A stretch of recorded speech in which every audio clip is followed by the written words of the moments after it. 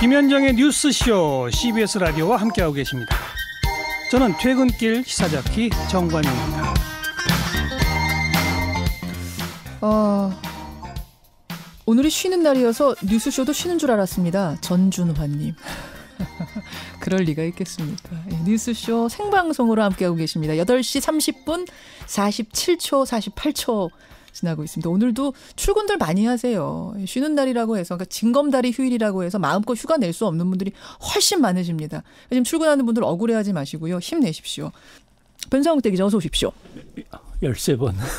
예. 13번은 안, 갔다는 거 아닙니다. 그렇죠. 이거 예. 확실하게 정정을 계약서가 해야 됩니다. 13장이었다는 거죠? 예. 사진 좀 찍으세요. 전혀요. 셀카 사진도 잘 못 찍습니다만. 아무튼 그 말은 어떻게 보면 이런 말이나 같아요. 회사를 갔는데 엄청나게 갑질하더라. 예. 회사를 갔는데 직장 상사 중에 성희롱 하는 사람이 있다. 음흠. 그럼 그 회사를 갔다가 왜 300번이나 나가 출근을 하고 500번을 출근해서 몇 년을 다녔냐라고 하는 거나 왜 사표 못 냈어? 예, 예, 비슷한 얘기가 될 수 있습니다. 예, 그래서 그 회사를 왜 13번 이상 갔느냐? 음. 뭐 그런 의미라면 참 답답하죠.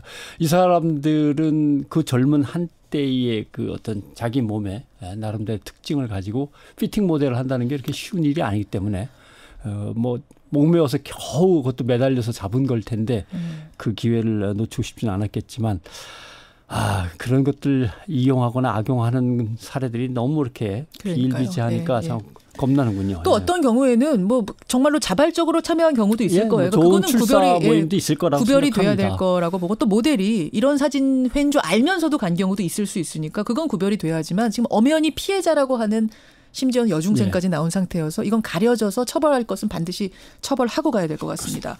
근데 오늘 주제 오늘 주제도 뭐 아주 먼 얘기는. 아니네요. 예. 이렇게까지 하면서 이 나라에 살아야 되느냐라는 얘기가 나왔었기 때문에 어, 지난 주말 여성들이 몰카 수사에 분노하면서 에, 집회 시위를 한 거 아마 생각하셨을 겁니다. 아, 보셨을 겁니다. 강남역 살인 사건 2주기를 맞아서 지난 16일 어, 지난 주말에 주말에, 예. 해화역에서 어, 모인 거죠 여성들이 한 만여 명이 모였습니다. 한 2천 명 내지 3천 명 모일 거라고 생각했는데 만 2천 명까지 모였다 이렇게 집계가 되고 그러니까 있어요. 이걸 사실은 언론들이 크게 주목하지 않았어요. 뭐 그렇습니다. 얼마나 많이 모이겠는가 했는데 만 명에서 만 이천, 만 삼천이 모이니까 이거는 대형 뉴스가 그 숫자만으로도 될 수밖에 없는 정도 수준이었죠. 제가 신문 그 소제목을 읽어보겠습니다. 예. 어, 미투 이후 최대 12,000명 모여 몰카 공포와 반감이 폭발했다. 남성 중심의 권력 구조에서 배제되어 왔던 불특정 다수 여성들이 분노를 표출했다. 이렇게 돼 있는데 예. 어, 지난 16일에도 여성가족부의 정현백 장관이 강남역 살인 사건 2주기를 맞아서 여성 폭력 방지 정책 간담회를 열었습니다. 예, 예. 여성들이 장관에게 털어놓은 이야기 몇 건만 중계를 하겠습니다. 오늘 음. 여성들은 실리콘과 스티커를 가방에 넣고 다닌다. 왜? 실리콘과 스티커 왜요? 카페, 화장실 등에 가면 구멍이 붕붕붕 뚫려 있어가지고 그걸 틀어 막아야만 되기 때문에 어허. 예. 그 몰카 구멍을 틀어 막기 위해서 아예 상비약처럼 실리콘이나 스티커를 가방에 넣고 다닌다. 음. 그러니까 우리 사회 여성들은 늘 불법적이고도 무례한 관음적인 시선에 아, 노출돼 있다. 이렇게 얘기를 하게 되는 거죠. 사실은 지하철, 버스, 길거리, 뭐 학교, 심지어 집 창문도 안심할 수 없는 게 보도되는 뉴스들 보면 그래요. 그렇죠. 예.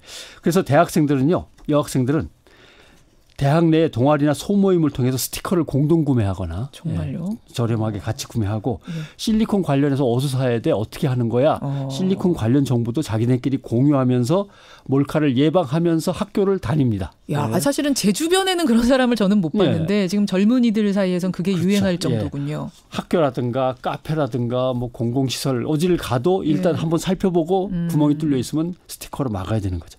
공공시설은 점검이 그래도 종종 이루어집니다. 예. 여성 안심보안관이나 경찰들이 들어가서 구멍 같은 걸 확인하기도 하는데 예, 예.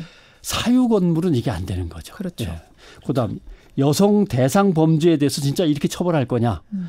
공무원, 교사, 의사 또는 신부, 목사 등의 종교인 이런 사람들이 저지른 범죄는 직업상 더 엄격하게 도덕성이 요구되는 직업이니까 더 엄격하고 중하게 처벌해야 되는데 오히려 공직자니까 봐주고 뭐 전문직이어서 봐드리고 얼마 전에 판결 있었죠. 의사라 음. 처벌을 하면 너무 손실이 커서 봐주고 뭐 이런 거 말이 안 된다라고 하는 건데 또 반대로 여성이 가해고 남성이 피해면 왜 이렇게 수사가 빨리빨리 진척이 잘 되냐. 음. 이것도 이제 불만, 불만이라는 거죠. 그다음 디지털 성범죄 같은 경우 촬영자 그런 사진들을 갖고 있는 사람, 소비자 모두 처벌해야 되는데 어떤 경우 음란한 목적으로 몰카 불법 촬영을 500건 했는데 초범이라고 봐주더라. 하하하하. 잡고 보니까 500번을 찍었는데 500명의 여성을 찍었는데 처음 걸렸기 때문에 초범이다. 그게 야, 기준이 어떻게 이 되는지 논리는 참 모르겠어요. 희한하네요. 예.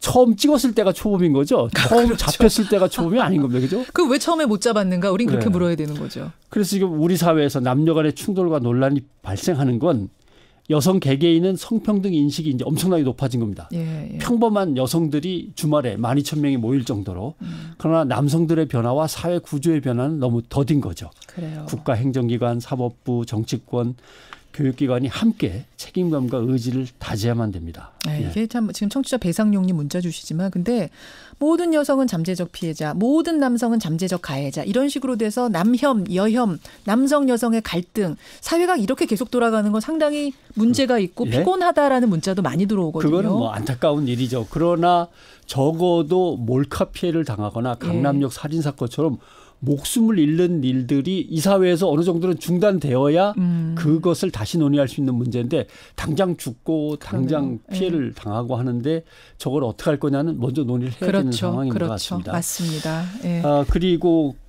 17일이었죠. 강남역 여성 피해사 사건 희생자의 2주기 되는 날이었는데 예. 거기에서도 나온 얘기를 보면 강남역 사건에서 많은 여성들은 내가 지금 살아있는 게 운이 좋아 살아있는 거지 길거리 가다 두들겨 맞고 공중 화장실 잠깐 들어갔다가 죽을 수 있는데 내가 지금 운 좋아 살아남은 거지 이게 살아남은 거냐 음흠. 라고 하는 거죠. 그래서 우리 사회에 만연해 있는 여성 혐오와 여성을 갖다가 학대하는 문화에 대해서 현실적으로 변화할 수 있도록 예, 빨리 정부와 국가가 조치를 취해달라는 겁니다. 예. 그래서 통계청 2017년 통계로 보는 여성의 삶에 따르면 여성의 51%가 전반적인 사회 안전에 대해서 불안하다. 어. 어두운 데 갈 때 불안하다가 아니고 예. 전반적인 사회 안전에 대해서 불안하다라는 답변을 한 걸로 돼 있습니다. 아무튼 여성을 목표로 한 끔찍한 범죄가 줄어들지 않는 가운데 미투 운동에서도 드러났습니다마는 사무실에서 네. 제일 안전한 곳 아닌가요?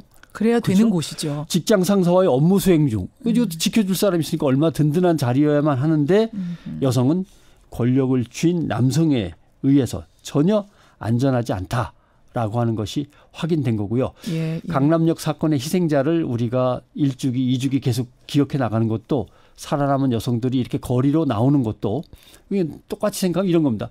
세월호 희생자를 잊을 수 없어서 그냥 놔둘 수 없어서 우리가 이대로 있지 않는 거나 마찬가지인 거죠. 생각해 볼 문제였습니다. 변상욱 대기자 수고하셨습니다. 고맙습니다.